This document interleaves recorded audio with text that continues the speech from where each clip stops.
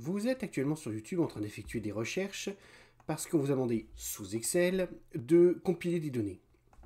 Vous êtes un petit peu en galère parce qu'on vous a demandé de compiler des données non pas par mois, mais par trimestre, voire par semestre. Je suis Jérémy et dans cette vidéo, nous allons apprendre à, utiliser, à créer ces index métiers avec les fonctions arrondi, sup et choisir.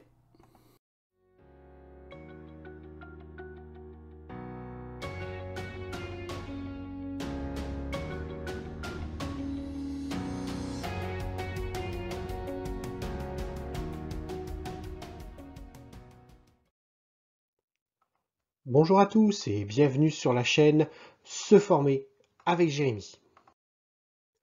Si vous voulez plus de vidéos pour vous permettre de vous débrouiller comme un pro avec les applications que nous utilisons tous les jours, cliquez sur le bouton s'abonner. Cliquez également sur la petite cloche, vous serez ainsi tenu informé. On va donc déjà commencer par la fonction arrondi.sup. C'est une fonction Excel, donc comme toutes les fonctions, on doit donner des informations à cette application, des données, pour obtenir un résultat. Donc les données à entrer dans cette fonction. La première, c'est un nombre, bien entendu au format numérique. Le deuxième paramètre à donner, c'est le nombre de chiffres. Alors ce nombre de chiffres est aussi un chiffre qui correspond en fait au nombre de chiffres qu'on veut après ou avant qu'on veut après la virgule. On obtient comme résultat un nombre arrondi en fonction du nombre de chiffres dont on a demandé l'arrondi. Particularité de la fonction, c'est qu'on aura toujours un arrondi supérieur quoi qu'il arrive. Le résultat obtenu est bien entendu un chiffre. Deuxième fonction qu'on va étudier aujourd'hui, la fonction choisir. Donc c'est toujours une fonction Excel, ce qui signifie qu'elle a besoin de données en entrée afin d'obtenir un résultat. Les données pour cette application. Alors, on a le numéro d'index, qui est un chiffre, et on a ensuite les valeurs, valeur 1, valeur 2, valeur 3, etc. etc. On peut aller jusqu'à 253 valeurs possibles. Ces valeurs peuvent être des chiffres, donc des nombres, du texte, ou même des plages de cellules on va obtenir en fait la valeur choisie, c'est-à-dire que si le numéro d'index correspond à 1, on obtient la valeur 1, s'il correspond à 2, on obtient la valeur 2, etc., etc. Et on obtient bien entendu en résultat le type de données qui correspond à cette valeur. Si la valeur 1 était un chiffre, on obtient un chiffre. Si la valeur 1 était un texte, on obtient du texte.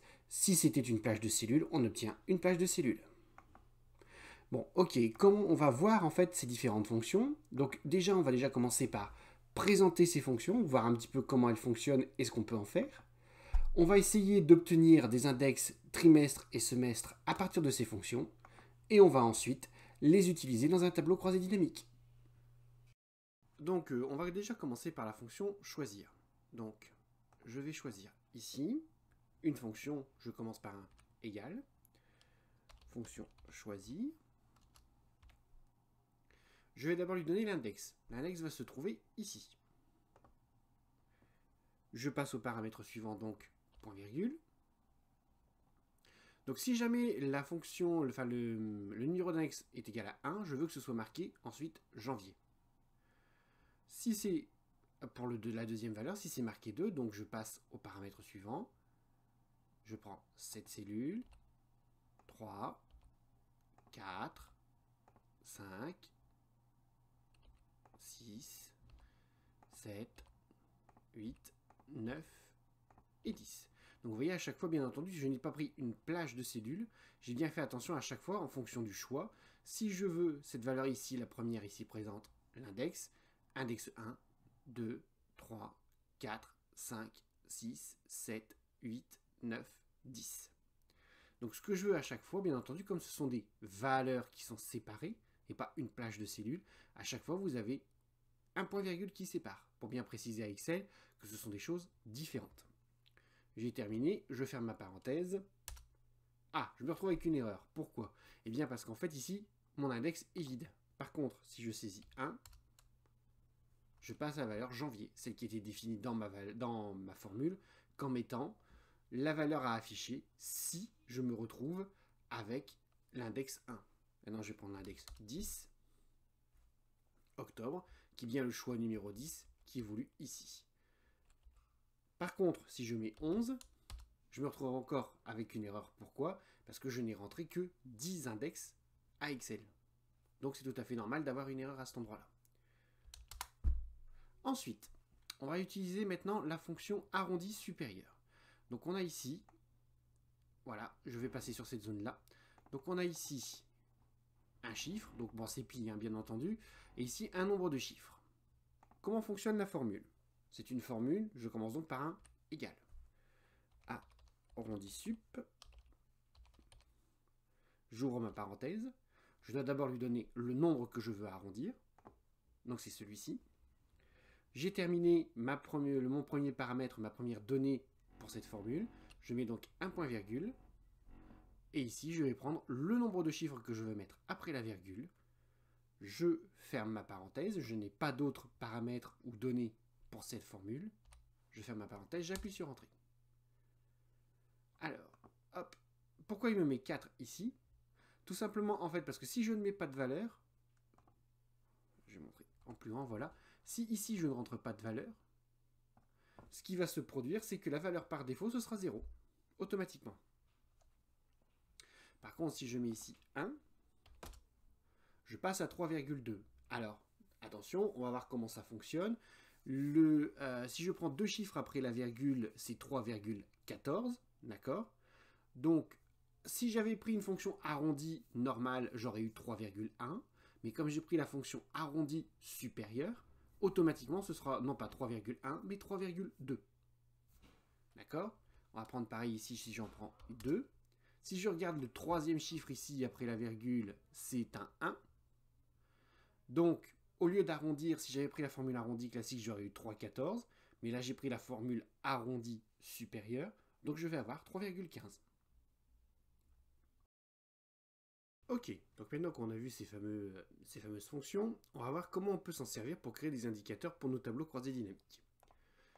J'ai créé ici un petit tableau rapidement. On va voir ensemble la fonction arrondi supérieur, comment on peut obtenir le trimestre et le semestre à partir d'une date. Donc là j'ai tout décomposé en fait au niveau en différentes colonnes. On va déjà commencer par quelque chose à partir d'une date, comment calculer un mois? Donc je l'ai déjà montré dans une précédente vidéo, euh, c'est très simple pour calculer le mois. C'est une fonction, donc je, commence par un égal, c'est la fonction mois, et je lui donne comme paramètre la date. Je ferme ma parenthèse, j'ai terminé de donner des paramètres, j'appuie sur Entrée, je me retrouve avec le mois. Maintenant, ce que je veux, c'est pouvoir calculer le trimestre. Alors, des trimestres, nous sommes d'accord qu'il y en a 4. À chaque fois, c'est une série de 3 mois. Si je veux obtenir le cal de trimestre, je dois en fait prendre le mois. Donc c'est une formule, je commence par un égal, je prends le mois, d'accord, que je divise ensuite par 3. Ah, j'obtiens ceci. Mais regardez ici ce qui se passe. C'est que si, effectivement, ici je reprends la chose, on est d'accord que ici, c'est des valeurs qui sont inférieures à 1 ou égales à 1, inférieures ou égales à 2, d'accord Mais supérieur à 1. Là, ici, pareil, c'est supérieur à 2, mais inférieur à 3. Et ici, c'est supérieur, c'est égal à 4, mais supérieur à 3. Donc, la chose qui pourrait être intéressante, c'est que si je reprends ce fameux calcul que je viens de faire, je vais mettre autour une formule arrondie. Donc, arrondi, supérieur, j'ouvre ma parenthèse pour lui donner le nombre que je veux arrondir, alors on a vu tout à l'heure que euh, si je ne veux pas de chiffre après la virgule, je peux laisser libre. Pour être sûr de bien comprendre, de mettre tous mes paramètres, je vais mettre un 0. Je mets un égal, j'appuie sur Entrée, et là qu'est-ce qui se passe? On obtient pour janvier, février, mars, on obtient bien 1. Pour avril, mai, juin, on obtient bien deuxième trimestre. Donc ici j'ai réussi avec cette fonction, donc je remonte la fonction pour bien afficher, j'utilise la fonction arrondi supérieur, et ce que j'arrondis en fait, c'est le mois divisé par 3. Donc ici, je me suis servi de la colonne calcul mois, mais je peux tout à fait remplacer ça, cette valeur ici, par la fonction mois sors-moi le mois de cette date. Donc c'est ce que je vais faire maintenant. Je vais supprimer ça et je vais dire que c'est égal à mois de cette date. Je referme ma parenthèse à nouveau. Donc on voit bien ici qu'Excel me montre en fait avec un système de couleurs les paires de parenthèses. Donc là j'ai une paire de parenthèses noires, une paire de parenthèses rouges. Là c'est bon, rouge, noir. Ma formule est bonne. J'appuie sur Entrée. Je me retrouve bien ici avec euh, le trimestre sans passer par cette colonne. Maintenant, je vais faire exactement la même chose pour le semestre. Donc, le calcul du semestre. On va prendre par exemple, à partir du mois, je vais prendre le mois qui est ici. J'ai combien de semestres dans une. J'ai combien de mois dans un semestre? J'en ai 6. Donc, je vais diviser ici par 6. Ce qu'on se rend compte, c'est que tous les mois du premier semestre sont tous compris entre 1 et 0. Tous les mois du second semestre sont tous compris entre 2 et 1. Donc, si j'applique également aussi ici ma formule arrondie, hop, arrondi bien entendu, hop, sur le calcul du mois, et que je veux uniquement les entiers. Je me retrouve bien en fait avec les six premiers mois qui sont du premier semestre. Les six mois des six derniers mois qui sont dans le second semestre. Donc à partir de là, je vais pouvoir calculer des indicateurs. Donc pour faire quelque chose d'un peu plus propre, je vous conseille d'aller revoir ma vidéo sur, euh, sur le, tri en fait en créant des index euh, année et mois. Je vais me servir exactement de la même méthode, c'est-à-dire que je vais mettre un égal, je vais d'abord sortir l'année de la date, donc année. Je vais chercher ma date. Ensuite, je suis ici en train de faire des trimestres, donc je vais faire l'esperluette pour dire que je vais concaténer. Je vais mettre du texte. Du texte dans une formule est toujours entouré par des guillemets. Donc le texte, hop, on va mettre trimestre. Un esperluette pour dire que je vais rajouter un calcul à concaténer. Et je vais reprendre cette fois-ci mon calcul du trimestre. Donc comment j'ai calculé mon trimestre? Arrondi. J'ai fait un arrondi supérieur. 2 du mois je reprends dans cette date. Je ferme ma parenthèse rouge. Et, et ce mois, je vais le diviser comme c'est par trimestre, je vais le diviser par 3. Un trimestre contient trois mois. Point virgule, je vais rajouter mon nombre de chiffres que je veux après la virgule pour ma formule supérieure. Je suis toujours dans ma formule arrondie supérieure. J'en veux 0. Je ferme la parenthèse. J'appuie sur Entrée. Ok, c'est bon, ça fonctionne. Donc j'ai bien ici janvier, février, mars. me dit bien que c'est le trimestre 1 j'ai bien octobre, novembre, décembre, c'est bien le trimestre 4. Je vais faire la même chose maintenant pour le semestre. Une formule, je commence par un égal. Année. Si je l'écris en français, ça va pas aller. Voilà, il n'y a pas de il n'y a pas de accent aigu dans la formule. Je vais chercher. Donc l'année réclame la date. Je vais donc chercher ma date. Esperluette pour dire que je sors de cette formule, mais que je vais quand même rajouter quelque chose pour faire de la concaténation. Je vais rajouter du texte, moins S majuscule. On verra dans une autre vidéo pourquoi j'insiste sur le S majuscule. Ici, je mets à nouveau un esperluette pour dire que je n'ai pas encore terminé, je vais concaténer encore quelque chose derrière. Et je vais concaténer l'arrondi supérieur de ma date du mois, excusez-moi, j'ai une bêtise, du mois, donc je vais calculer le mois de ma date. Hop, d'accord, donc là j'ai calculé le mois de ma date. Maintenant, ce que je suis, je suis retourné au niveau de mon arrondi supérieur. Donc c'est pas l'arrondi du mois que je veux, mais l'arrondi du mois divisé par 6 pour obtenir mon trimestre. Je mets le point virgule, je suis à nouveau dans ma formule arrondie, je mets le point virgule pour savoir combien de chiffres après la virgule je veux. J'en veux 0. Je referme ma parenthèse de la formule arrondie que je viens de terminer. Je mets un esperluette... Euh, non. Attendez, je vérifie. J'ai mon année qui est ici. Ça, c'est mon année. Tout ça, c'est mon année. Là, ici, c'est mon indicateur comme quoi je vais parler de semestre. Là, c'est ma formule arrondie. Et j'arrondis quoi? J'arrondis le mois de la date que je divise par 6 et je mets 0 chiffre après la virgule. Ma formule doit être complète, j'appuie sur Entrée. Ok, on est bon. Donc on a bien les 6 premiers mois de l'année qui correspondent au premier semestre. Les 6 mois suivants correspondent bien au semestre numéro 2. Donc là, je viens de calculer dynamiquement, en fait, une valeur de trimestre. Ok, donc on a vu maintenant ensemble, grâce à la fonction arrondi supérieure, comment on pouvait créer des indicateurs pour un trimestre et un semestre. On va voir maintenant avec la fonction choisir. Hop, on va aller ici. Donc sur la fonction choisir, toujours pareil. Donc je reviens sur le calcul du mois. Donc on va voir que c'est assez simple. On se rappelle, le calcul du mois, c'est une fonction. Fonction, un calcul ou une fonction, ça commence par un égal pour dire à Excel que c'est une fonction ou un calcul et pas du texte je fais donc le mois de la date qui se trouve ici. donc, à partir de là, je me retrouve comment? Je me retrouve en fait avec, on est bien d'accord, une série de choix. Si c'est le mois qui est ici, je me retrouve donc avec la valeur 1, la valeur 2, la valeur 3. Si jamais je tombe sur une de ces trois valeurs, 1, 2, 3, il faut me mettre le premier trimestre. Donc, si je fais mon calcul de trimestre, avec la fonction choisir, je dis égal choisir. J'ouvre la parenthèse. Je dis qu'on va chercher donc le mois.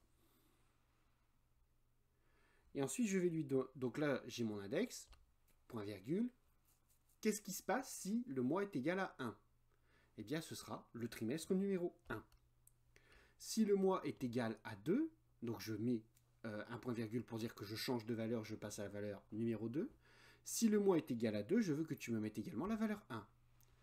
Point virgule. Si la valeur est égale à 3, c'est encore le premier trimestre. Ensuite, par contre, si c'est 4, c'est le second semestre. Si c'est 5, c'est le second semestre. Si c'est 6, c'est le second semestre. Euh, trimestre, excusez-moi, excusez-moi, trimestre. Si jamais euh, donc euh, la valeur euh, passe à 7, c'est le troisième trimestre, donc 3. Si c'est 8, c'est le troisième. Si c'est 9, c'est le troisième. Et si jamais ensuite la valeur est égale à 10, eh bien dans ce cas-là, je suis au quatrième trimestre. Pareil pour le 11, pareil pour le 12. Je referme ma parenthèse, j'appuie sur Entrée, et là on est bien d'accord qu'ici on a bien 1 pour les trois premiers mois, 2 pour 4, 5, 6. Troisième trimestre pour le, 6, pour le 7, 8, 9. Et 10, 11, 12, on a le quatrième trimestre. Je vais faire exactement pareil pour le semestre. Alors pour le semestre, c'est encore plus simple. Donc je vais choisir, fonction, je commence par un égal, choisir. Je vais donc prendre le calcul de mon mois, d'accord? On se rappelle que dans cette colonne on a euh, la, fonction mois qui se, qui se base sur la date. Donc ça, c'est mon index. Que se passe-t-il si j'obtiens des valeurs de 1 à 6 Je suis dans le premier semestre. Donc, valeur 1, 2, 3, 4, 5, 6. Valeur numéro 7, je suis dans le second semestre. Donc, 7, je mets la valeur 2, 8, 9, 10, 11, 12. J'ai terminé, j'ai balayé tous les mois. J'appuie sur Entrée, je ferme ma parenthèse et j'appuie sur Entrée. Donc on est bien d'accord que ici, les six premiers mois, qui sont ici, les six premiers mois, sont bien au premier semestre. Alors maintenant, comment je vais construire mon indicateur? Donc là, ici, je suis passé, si j'utilise la fonction ici, on est bien d'accord que je suis passé par une euh, colonne intermédiaire. Donc c'est pas forcément, forcément intéressant puisque j'ai une colonne supplémentaire à rajouter à mon tableau. Donc ce que je vais faire, c'est que au lieu de passer par une colonne, la valeur qui est ici, je vais l'enlever. Et je vais mettre directement le calcul qui était contenu dans la colonne calcul mois. Le calcul qui est contenu dedans, c'est mois de cette date. J'appuie sur Entrée. J'obtiens le même résultat, ce qui est logique. Mais je n'ai plus besoin de cette colonne. Pour me faciliter un petit peu la vie, je vais quand même, je vais prendre cette formule que je vais copier, ce qui fait que je n'aurai pas à la ressaisir de l'autre côté. J'appuie sur échappe pour sortir. Donc on va venir maintenant mettre notre indicateur complet. L'indicateur, on se rappelle, on a pris une petite convention, l'année, un tiré, T pour trimestre, et ensuite le numéro du trimestre. C'est une formule ou un calcul, je commence par un égal. La première chose que je mets, c'est l'année. L'année de cette date. J'ai terminé de donner des paramètres à ma fonction année, je referme ma parenthèse. Je vais mettre un esperluette pour dire que je vais faire de la concaténation de données. Je dois ensuite mettre le tiret avec le T, c'est du texte directement.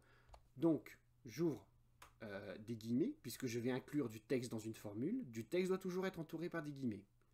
Moins T. Voilà, donc c'est le tiret et le T pour faire une petite séparation entre l'année et le trimestre.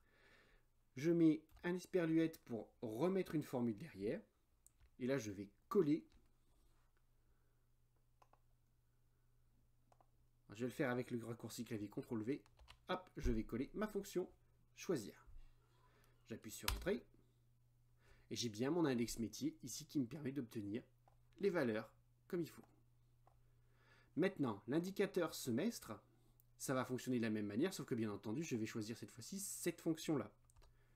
Donc pour cette fonction, pareil, plutôt que de choisir la colonne calcul mois, je vais mettre directement le calcul qui me permet d'obtenir cette valeur.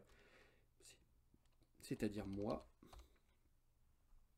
J'ouvre ma parenthèse, je prends la date, je referme la parenthèse de ma fonction mois. J'appuie sur Entrée. Mon calcul est toujours identique, c'est tout à fait normal. J'ai juste éliminé en fait l'étape qui me fait passer par cette colonne. Donc, je vais copier la formule pour éviter d'avoir à la ressaisir. L'indicateur pour mon semestre fonctionne de la même manière. C'est un calcul, donc je commence par égal. Donc je prends l'année. J'ouvre ma parenthèse, je vais chercher mon paramètre qui est la date qui se trouve ici. Je referme ma parenthèse, mon année calculée. Je mets l'esperluette pour pouvoir faire du, de la concaténation. Je vais mettre ensuite du texte dans ma concaténation. Donc du texte, ça commence par une guillemets. Hop, je mets un S majuscule. Alors, c'est une convention personnelle, le S majuscule, puisqu'ensuite, pour moi, le S minuscule sera la semaine. Je referme ma parenthèse. Je vais mettre maintenant euh, le calcul de mon semestre pour euh, pouvoir le mettre à la suite, pour pouvoir concaténer avec le reste de des formules que j'ai déjà rajoutées. Je remets un esperluette et je vais coller, grâce au raccourci clavier CTRL V, ma formule choisir. J'appuie sur Entrée. On est bien d'accord qu'ici, je me retrouve donc pour les six premiers mois avec le premier semestre 2020. Mes indicateurs sont créés. Donc c'est pas très compliqué, mais ça va me permettre moi de faire un tri par semestre, par trimestre, et je peux même faire un tri par mois. Ok, donc maintenant on a vu la fonction choisir, on va l'appliquer sur un tableau croisé dynamique. Donc là, pour gagner un petit peu de temps, j'ai déjà préparé la colonne semestre-trimestre et j'ai même rajouté la colonne mois. Donc j'ai utilisé ici la fonction choisir hein, qu'on vient de voir tout à l'heure. Ici, la fonction choisir qu'on vient de voir tout à l'heure, mais j'ai réparti donc par euh, trimestre. Et j'utilise ici la fonction mois qu'on a vue dans une précédente vidéo. Donc trimestre semestre, trimestre, mois. Pourquoi? C'est pour me permettre en fait de faire un découpage euh, pour aller plus finement pour analyser mes données. Bon, analyser les données comme ça d'un tableau, bon, bah, c'est pas très intéressant. On va commencer par faire ça par un tableau croisé dynamique. Donc je suis dans ma valeur, je vais dans création et je m'en vais choisir tableau croisé dynamique. Je vais faire OK, une nouvelle feuille qui apparaît. Donc je veux, par exemple, hein, la quantité qui a été traitée par mes agents, je, veux, je veux le voir par semestre. Il me suffit simplement de prendre la valeur semestre et je la mets ici. Donc là, je calcule mon propre indicateur, il me donne la quantité. Là où ça devient intéressant, c'est que je peux découper ce semestre en trimestres. Donc dans les lignes, je dis bien que je veux donc la somme de la quantité par trimestre découper ensuite par trimestre, et je vais même dire que je veux découper en mois. Le fait de faire cet enchaînement ici, ça produit dans ce tableau ici le fameux découpage qu'on voit ici. Donc ce qui permet par exemple d'avoir la fonction en semestre et de pouvoir aller voir ce qui s'est passé mois par mois. Dans un, c'est encore un tableau, donc c'est pas très très euh, parlant. Ce qu'on va faire, c'est qu'on va mettre ça dans un graphique. Je vais utiliser le système de barres. Je vais faire OK. Et là, ce qui est intéressant, c'est que je peux remonter et descendre au niveau de mon unité de temps. C'est-à-dire, par exemple, je peux, en appuyant sur le moins, donc là, ici, je pars du semestre, je vois la quantité du premier semestre et du second semestre. Si j'appuie sur le petit plus qui est ici, je vois ce qui s'est passé dans le semestre 1, je vois le détail du trimestre 1, trimestre 2. Semestre 2, je vois que je n'ai que le trimestre 3 au niveau de mes valeurs. Je rappuie à nouveau sur le plus. Il ne veut pas bien entendu. Voilà, un petit problème de souris. Et là, on voit bien que j'ai bien mon semestre, mon trimestre, mais mes mois qui sont ici découpés en fonction du trimestre. Donc ça permet d'avoir comme ça euh, un découpage qui vous permet de remonter et de descendre autant que vous voulez. Pourquoi utiliser la fonction choisir plutôt que la fonction euh, arrondi? Alors, c'est un choix arbitraire si vous utilisez le calendrier classique. C'est-à-dire que si vous vous servez euh, du calendrier annuel, classique, ça pose aucun problème. Vous pouvez tout à fait utiliser l'une ou deux des deux fonctions. En revanche, si vous utilisez le calendrier scolaire, où le premier trimestre est celui qui va de septembre, septembre, octobre, novembre, dans ce cas-là, la fonction en fait qui permet de faire le calcul avec l'arrondi, c'est pas, ça marche pas. Vous devez avoir quelque chose qui vous est spécifique. Et si ça vous est spécifique, vous devez utiliser la fonction choisir. Voilà, cette vidéo est désormais terminée. Si vous avez apprécié cette vidéo et que vous désirez avoir d'autres vidéos sur le sujet, ou si vous souhaitez réagir sur cette vidéo, n'oubliez pas de me laisser un petit commentaire. N'oubliez pas non plus de cliquer sur le petit pouce vers le haut, ça encourage toujours. Je vous dis donc à bientôt, et surtout n'oubliez pas que la seule question idiote, c'est celle qui n'est pas posée.